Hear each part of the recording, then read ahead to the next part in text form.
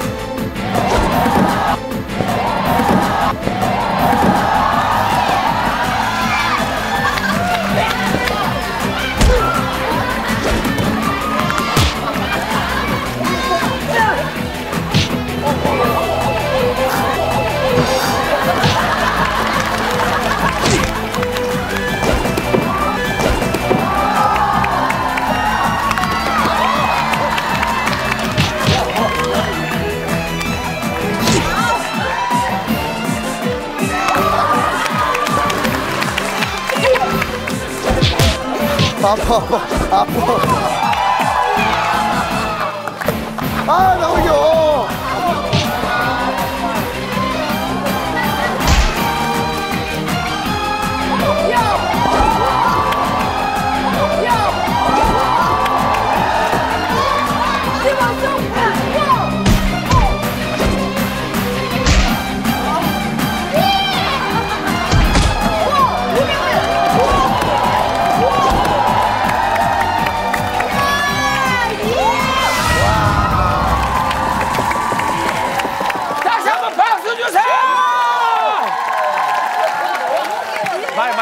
챙기시고요. 네 일곱 살, 다섯 살이라는 게 여러분 믿겨지십니까? 아니야 나는 내가 지킨다 일곱 살 강범석입니다. 에! 나도 내가 지킨다. 나도 내가 지킨다. 나도 내가 지킨다. 에! 이야. 자기 몸은 자기가 지킬 줄 알아요? 네. 이딱 꺾어놓고 머리통 잡고 땡기는 게 막. 어 깜짝 놀랐어. 넘어져, 넘어져, 넘어져, 넘어져, 넘어져. 머리, 머리, 머리, 머리, 자기 머리, 머리, 잡아, 머리, 잡아. 머리,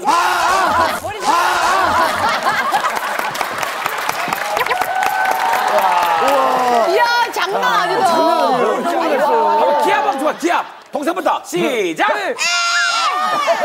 형. 근데 우리 형은 무술도 참 잘하는데 동석이는 애를 왜 누구요? 여기서 제일 좋아하는 사람이 누구예요?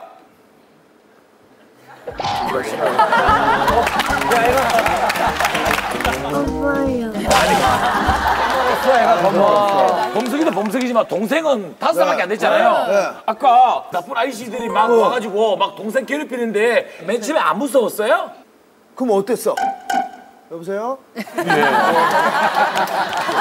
이게 원래 일곱 살의 모습이잖아요 근데 다섯 살. 다섯 살 무술만 시작되면 애들이 확 바뀌어요. 그냥 어른이 돼 근데 아까 가게 무리 분들 중에 네. 안 나가시고 계속 제자리 지키고 계시거든요.